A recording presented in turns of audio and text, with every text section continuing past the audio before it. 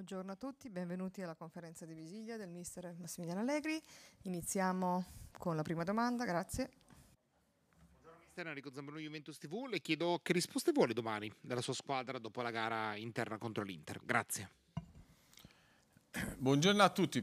Dunque, domani la partita innanzitutto è una partita com molto complicata perché il Cagliari viene da una brutta sconfitta subita ad Udine.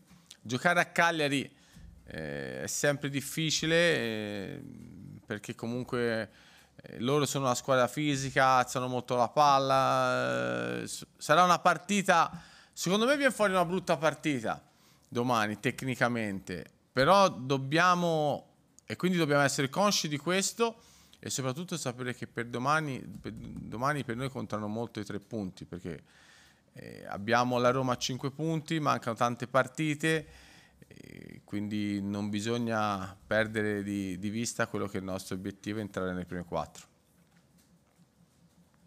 Buongiorno mister Giovanni Albanese Sport Italia.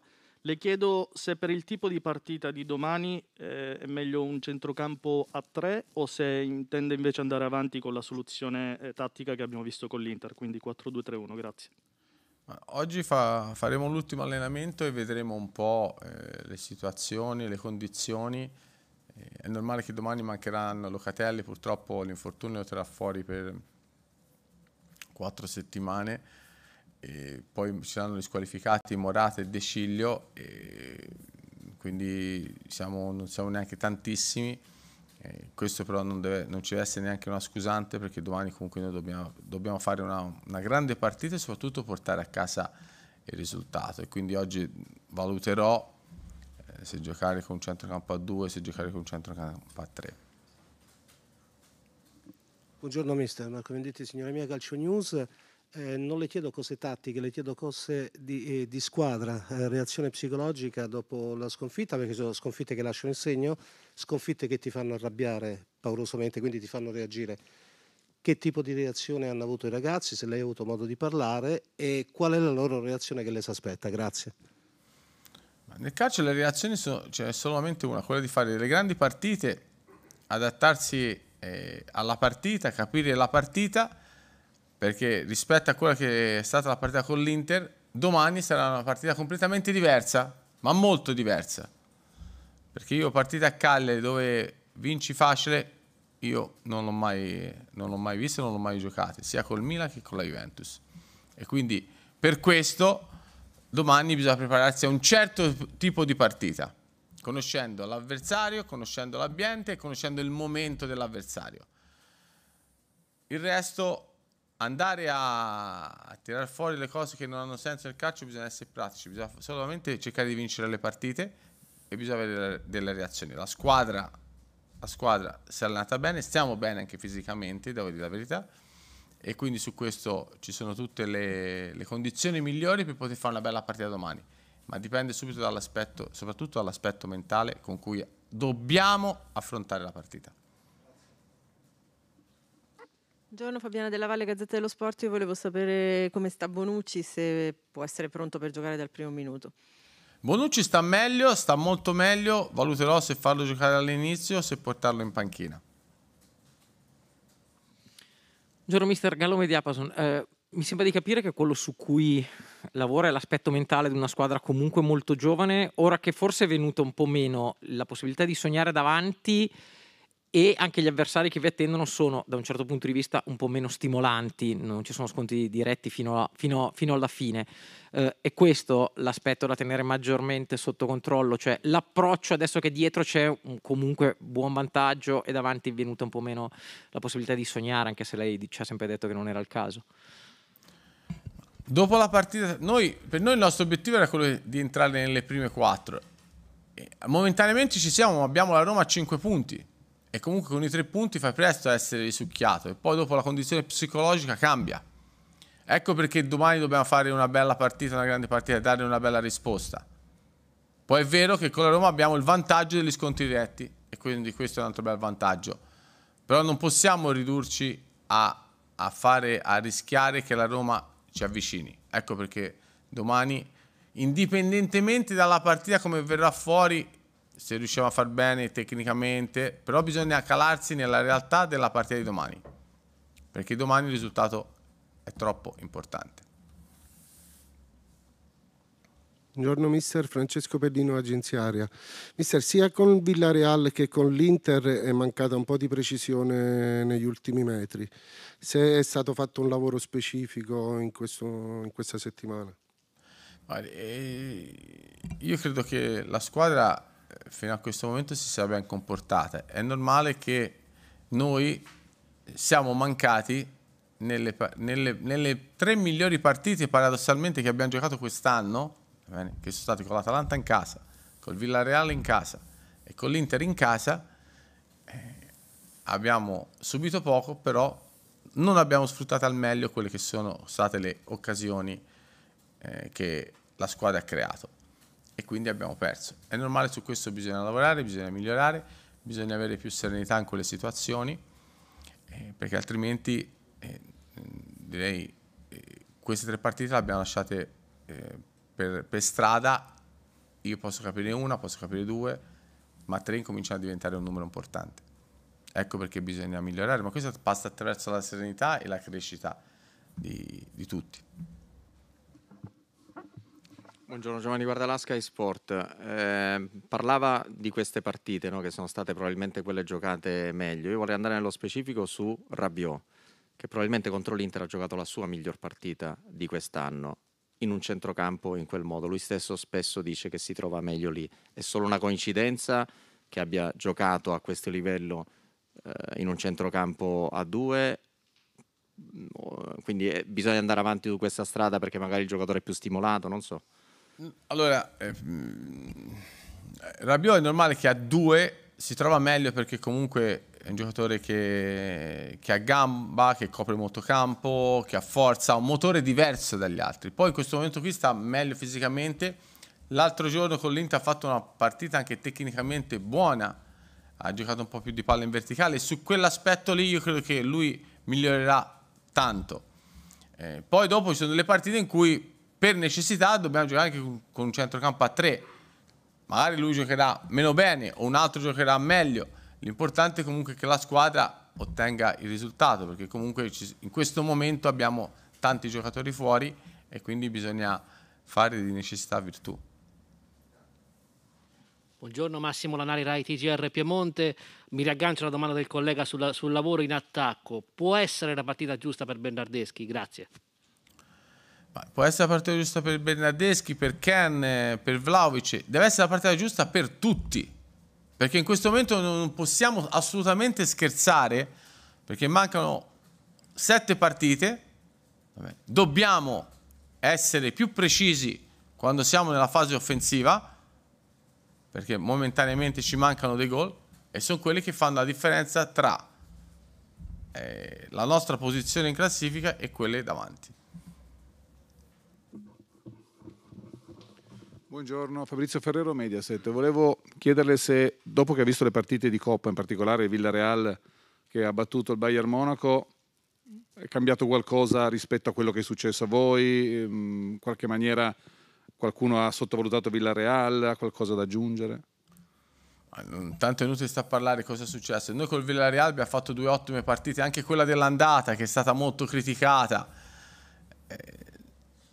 Abbiamo, abbiamo, avuto tante occasioni anche all'andata, poi abbiamo sbagliato l'ultimo passaggio abbiamo sbagliato, e abbiamo subito poco anche all'andata.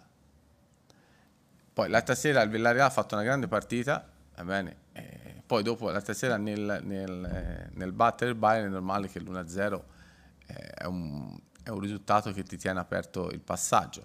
Però la, le prestazioni che sono state fatte col Villarreal sono state due ottime prestazioni, le nostre, che però non sono bastate perché siamo stati eliminati, perché dopo alla fine quello che conta è il risultato, il passaggio del turno in coppa e il risultato finale nel, nel campionato attraverso delle ottime prestazioni, delle buone ottime prestazioni. A volte quando non fa delle ottime prestazioni, delle buone prestazioni, devi portare lo stesso a casa il risultato. E il Villarreal è una squadra scomoda. Buongiorno, Romeo Agressi Gol.com. Le chiedo, mister, se è vero che ci siano delle chance di vedere Gian McKenny di rientro nel finale di stagione. Grazie. Eh, momentaneamente è ancora che cammina, è ancora in ritardo. Speriamo nel giro di un mese, primi di maggio, magari che possa rientrare e essere a disposizione perché comunque mancherebbero ancora 4 o 5 partite. Buongiorno mister Filippo Cornacchi Tutto Sport. Eh, nella sua prima esperienza alla Juve ha vinto tantissimo e ricevuto tantissime critiche.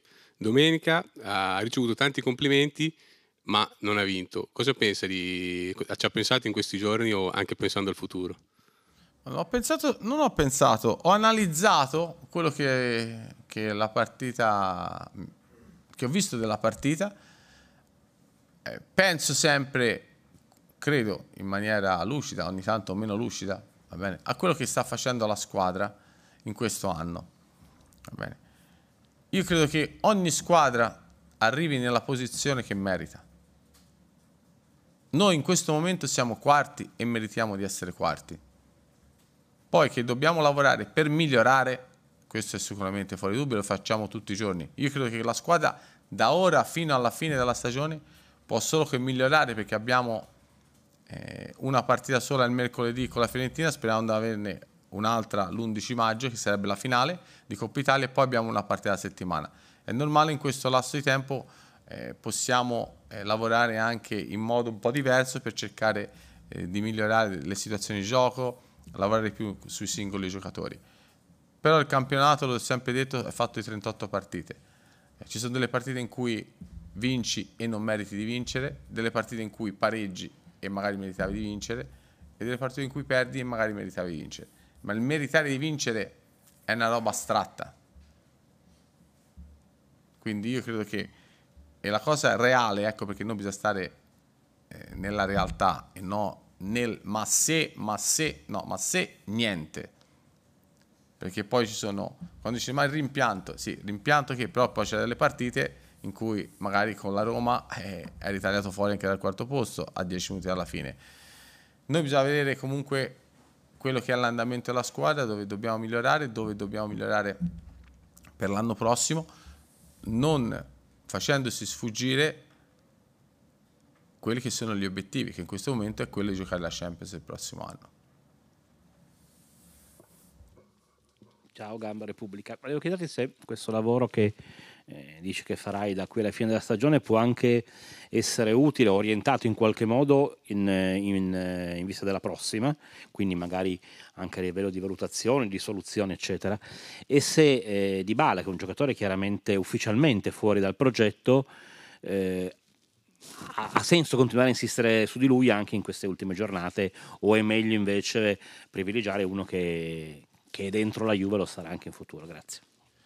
Allora, siamo, cioè questo mese e mezzo che manca da qui alla fine della stagione che serve per eh, lavorare, eh, abbiamo tempo per lavorare, va bene, soprattutto durante la settimana, però nello stesso tempo abbiamo degli obiettivi da raggiungere. Io tutti i giocatori che ho a disposizione della Rosa sono tutti, devono essere tutti in condizione per dare il loro contributo per far sì che la Juventus a fine anno sia nelle prime quattro e magari giocare una finale di Coppa Italia indipendentemente che uno rimanga, uno, un altro vada via, eh, abbiamo 5 giocatori, 6 giocatori a scadenza di contratto, quindi è ancora tutto, siamo tutti in ballo. In questo momento qui non bisogna pensare né al mercato né a altre cose.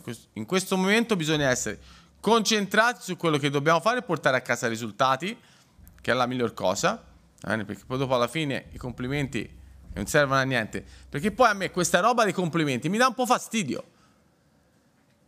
Perché altrimenti diventiamo la squadra che si accontenta dei complimenti, che trova un alibi e ne trova un altro.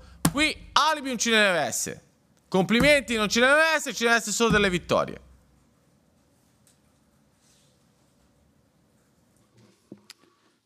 Oddio una stampa, a proposito delle vittorie, ehm, questa è un Juventus che ha fatti, soprattutto in campionato ha faticato molto a segnare, non a caso anche il non attacco. Eh, c'è un dato curioso, c'è una squadra che, che crossa di meno, 300 cross credo sono stati contati, poche altre hanno fatto meglio, cioè, scusi peggio. Volevo chiederle, e questo è uno dei motivi per cui Juventus fa fatica a segnare? A maggior ragione avendo anche giocatori comunque nel gioco aereo sono anche abbastanza bravi, penso a Vlaovic, cioè, può essere uno dei problemi e perché la fa fatica così a segnare? Grazie.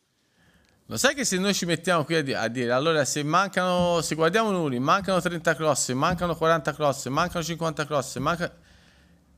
io credo che la Juventus, soprattutto negli ultimi, tre mesi, quattro mesi, abbia creato molto. Poi abbiamo, siamo stati poco lucidi e poco precisi nel far gol. Su questo bisogna, bisogna essere più efficaci da qui alla fine del campionato. Ciao, eh, Antonio Paolino, Radio Bianconera. Ti posso chiedere se prima dell'Inter avevi anche con una minima percentuale covato la possibilità di riaprire i giochi scudetto anche per la Juventus e questa seconda pagina di questo finale ti porta a programmare di fare almeno quanti punti? Ne servono 16, visto che la Roma eh, ne ha 5 in meno. Assolutamente sì, io credo che è normale che se, tanto con i se con i mazzi va da nessuna parte, eh, eh, battendo l'Inter è normale che eh, avevi una, una, piccola speranzella di, di, però dovevi vincere tutte le partite che è praticamente impossibile, difficile. Quindi dobbiamo svoltare, e svoltare qual è? Quella di concentrarci su quello che è realmente il nostro obiettivo, entrare nelle prime quattro e cercare di fare i più punti possibili. Però facciamo una cosa alla volta, domani abbiamo una partita, ripeto, difficile, complicata perché altrimenti nel giro di una settimana deve essere a più 8, va bene, rischiare di eh, lottare per lo scudetto a trovarsi la Roma a due punti. E su questo bisogna essere lucidi. Ecco perché domani è una partita di quelle toste giuste che va giocata in un certo modo. L'ultima. Buongiorno, mister Filippo Consigliere Corriere Sport. Proprio riagganciandomi a questo discorso di ciò che avrebbe potuto essere e non è stato, eh, visto che quelle davanti hanno viaggiato a un buon ritmo, ma comunque qualcosa hanno concesso, è una forzatura dire che è un campionato delle occasioni perse, dei rimpianti per voi? Oppure è giusto così come è andata?